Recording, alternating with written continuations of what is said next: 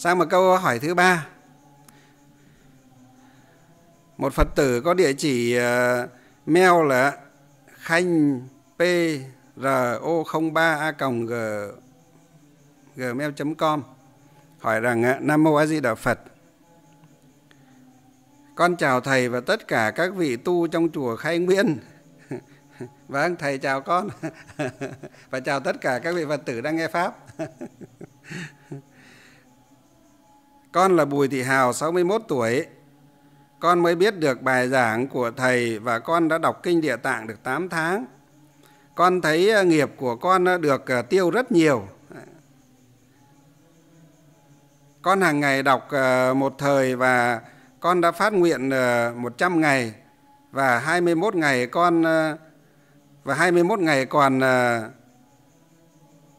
những ngày chay thì con ăn chay và đọc ba thời.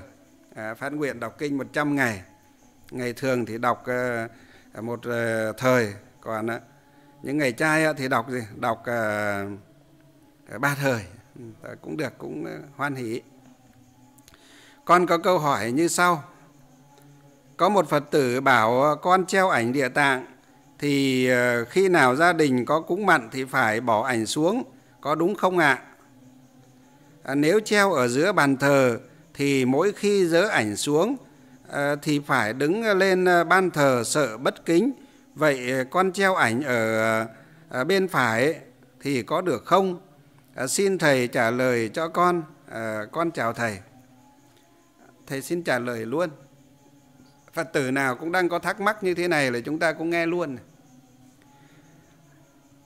các phật tử chúng ta nếu mà hoan hỷ gia đình mà cả hoan hỷ mà cho chúng ta treo được một ờ, bức ảnh của ờ, Đức Phật hoặc là vị Bồ Tát nào đó lên trên ban thờ thần linh gia tiên nhà mình rồi đây chắc chắn là chưa có ban thờ Phật.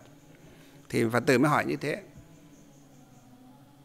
Treo ờ, tranh ảnh Bồ Tát Địa Tạng lên giữa ban thờ rồi nhưng mà có người bảo rằng à, mỗi khi ngày dỗ ngày Tết gia đình cúng mặn lại phải bỏ ảnh của Địa Tạng Bồ Tát xuống. Thì Phật tử này thấy như thế là gì? Là lúc treo lên treo xuống như vậy dỡ lên dỡ xuống như vậy á sợ là bất kính. Cho nên hỏi thầy muốn treo sang à, bên à, trái hoặc bên phải á tức là không treo giữa ban thờ mà bên trái bên phải ban thờ có được không? À, xin thầy trả lời. Trước tiên thầy uh, trả lời cho các phật tử như thế này chúng ta nếu nhất tâm thờ phật. Chúng ta kính phật thờ phật treo một bức ảnh của chư Phật hoặc Bồ Tát bất kỳ nào đó lên ở giữa ban thờ thần linh gia tiên nhà chúng ta trên cao trang trọng rồi. Chúng ta cứ để nguyên đấy không sao. Ngày rỗ ngày Tết á, chúng ta có nếu mà gia đình chưa hoan hỷ và cúng chay trường tuyệt đối á, vẫn gì ăn gì cũng đấy tức là gì ăn mặn thì cũng mặn á, ngày rỗ ngày Tết ăn mặn cũng mặn cứ vô tư mang lên cũng không sao. Cứ cúng đi không sao cả. Ăn gì cũng đấy à, ví dụ như là à, nhưng mà thì nên tránh sát sinh ở trong nhà là tốt nhất. Đấy. ra chợ mua tam tịnh nhục à, được là tốt nhất. Bởi vì thì nếu người sống mà còn ăn à, thì à, chúng ta ăn gì cũng đấy thì cũng được. Vì người thân chúng ta chưa hiểu Phật pháp Thế cả nhà mà hiểu được thì không phải bản nữa không phải nói làm gì. Ở đây đang nói trường hợp cả nhà gì ạ mới có một hai người theo Phật còn lại đại đa số là chưa theo Phật. À, thậm chí nhà mình là trưởng họ nhà mình theo Phật hết á, nhưng khi ngày dỗ các cụ á, cả họ về á, họ không đồng ý cho chúng ta cúng chay chúng ta cũng phải chịu các quý vị chúng ta cũng phải theo họ. Mặc dù mình là trưởng họ nhưng mình mình cũng không nên áp đặt.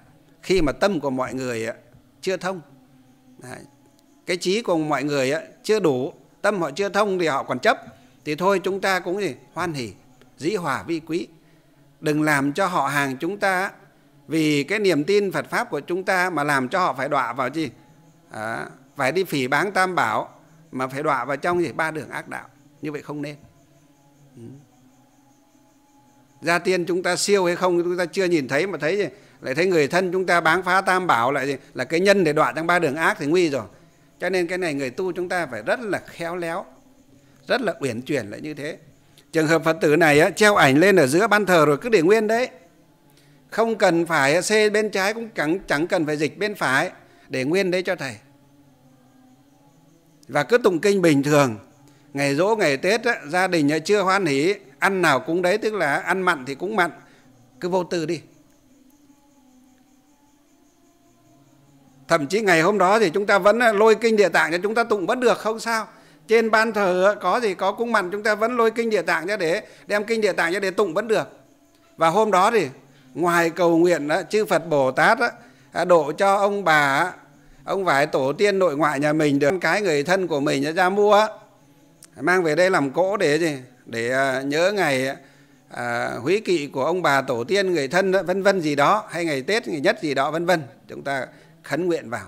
Tụng trước khi tụng khấn hoặc sau khi tụng kinh đem công đức đấy hồi hướng cho họ à, cái thần thức của họ đừng bám chấp vào gì cái miếng thịt kia nữa. Đừng bám chấp vào á cái thấm thân đó gì á đã bị hủy hoại kia rồi. Mà hãy gì nghe theo á, lời dạy của Đức Phật ở trong kinh. Và để sớm đi à, sớm hướng tâm à, bồ đề sớm phát tâm bồ đề à, theo câu niệm Phật của mình nhé để cầu nguyện chư Phật Bồ Tát các ngài phóng quang ra hộ độ cho cái thần thức của à, các loài à, sinh linh ấy sớm được siêu sinh về cõi lành. Đó cũng là một biện pháp. Đó cũng là gì? Một cách chúng ta gì? À, hóa giải hận thù.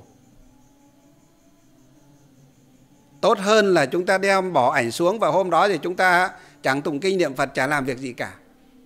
Đấy vì chúng ta nghĩ rằng hôm đó mang đồ mặn lên trên à, người thân chúng ta mang đồ mặn lên trên ban thờ chúng ta không dám lên tụng kinh không dám niệm Phật không dám làm gì á. À, không nên. Việc à, sát sinh hại vật để đem dâng cúng tổ tiên đó là việc gì? À, chắc chắn là gì? Là tội lỗi rồi. Chắc chắn là phải chịu cái quả báo xấu rồi. Chắc chắn là làm ảnh hưởng tới gì? À, người thân của chúng ta quá vãng rồi. Nhưng nếu hôm đó chúng ta không làm một việc gì thiện thì cái tội ấy người ta phải gánh hết. Và người thân chúng ta phải gánh hết chia nhau mà gánh. Còn hôm đó chúng ta gì đem tụng một bộ kinh địa tạng niệm vài trăm hoặc vài ngàn câu Phật hiệu đem công đức ấy hồi hướng để tiêu trừ nghiệp chướng cho gì? Cho người thân của chúng ta hồi hướng cho cửu huyền thất tổ chúng ta và hồi hướng cho chính những gì? À, những sinh linh mà gì mất mạng kia chúng ta gọi là lấy công đức phúc báo lấy việc thiện nó để đắp vào cái việc à, sai trái à, việc ác mà mà mọi người làm ấy. À, giống như trong nhà chúng ta mất điện chúng ta phải tìm cái gì để thắp lên? Bình thường chúng ta thắp điện này nó sáng này nhưng mất điện thì phải là lấy cái gì để thắp lên? Chẳng nhẽ chúng ta ở tối với nhau mù mịt thế à? Chúng ta phải đi tìm nến rồi tìm đèn gì đèn dầu để thắp lên đúng không? Ánh sáng của đèn của nến nó tuy không bằng ở bóng điện nhưng nó vẫn gì? Vẫn đủ ánh sáng để cho chúng ta nhìn thấy đường đi nhìn thấy à, à, mọi vật ở trong gia đình chúng ta vậy.